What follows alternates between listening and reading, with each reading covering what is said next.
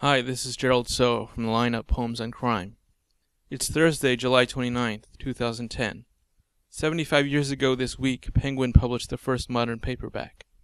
As someone who came to love fiction and poetry through paperbacks, I'd like to pay tribute with this poem, originally published last year in Cindy Rosmus's e-zine Yellow Mama.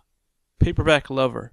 Hardcovers are movie stars, way beyond my budget in their prime. Library books are free for two weeks, but really, who knows where they've been? Paperbacks are new for a few bucks, and so readily go to bed with me.